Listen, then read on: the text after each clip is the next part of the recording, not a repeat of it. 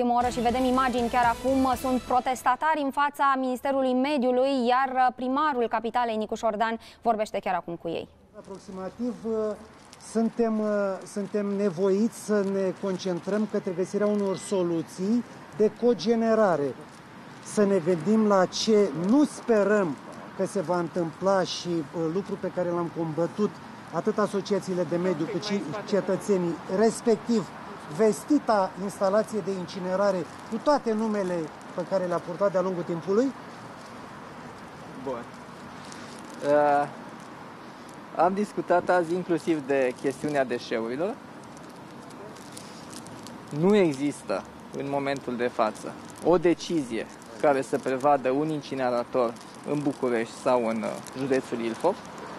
Deci, în momentul de față, această soluție nu există.